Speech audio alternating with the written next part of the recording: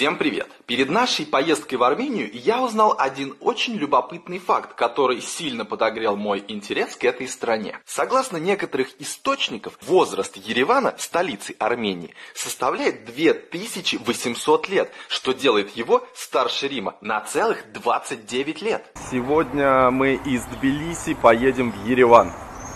Посмотрим, как это добраться на маршрутке из Грузии в Армению. Посмотрим в Ереване вообще какие дела, что там интересного, погуляем. Эту информацию подтвердили и наши попутчики-армяне, которые ехали вместе с нами на маршрутке, возвращаясь в Ереван из соседнего Тбилиси. Они рассказали, что все армяне гордятся своей столицей и считают ее одним из древнейших городов на планете.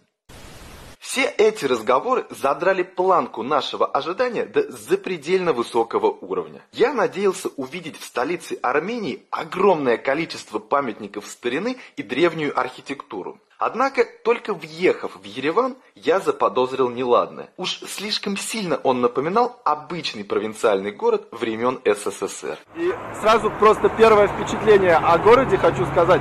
Вот мы пока ехали, что я, что Юля, пришли к выводу, что очень сильно, допустим, на Волгоград похоже или на какой-то там другой наш э, российский город.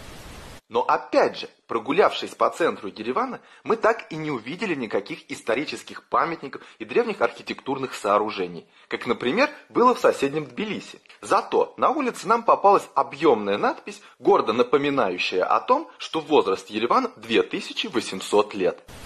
Но тогда встает закономерный вопрос. Если Ереван действительно настолько старый город, то где же его древние крепости, храмы и прочие исторические достопримечательности? Я решил разобраться в этом вопросе поглубже. Этот факт по-прежнему не дает ответа, почему же в Ереване отсутствуют древние строения, которые прекрасно сохранились в том же Риме. Сейчас перед нами римский форум, построенный в свое время самим Юлием Цезарем.